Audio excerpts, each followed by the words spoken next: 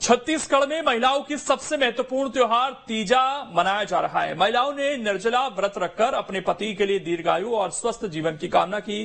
पौराणिक मान्यता है कि भगवान शिव को पति रूप में प्राप्त करने के लिए पार्वती जी ने भाद्रपद माह के शुक्ल पक्ष तृतीया को निर्जला व्रत रखकर शिव जी की पूजा और आराधना की थी।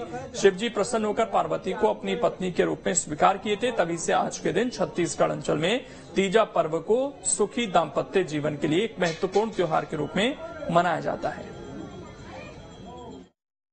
मतलब शिव जी पार्वती के पूजा करते हैं और पूजा करके अपने दाम्पत्य जीवन के सुखमय के लिए, अपने पति के लंबी उम्र के लिए और महिला सौभाग्यवती महिला अपने पति, उम्र, अपने बच्चे, पूरा परिवार के लिए व्रत रखते हैं।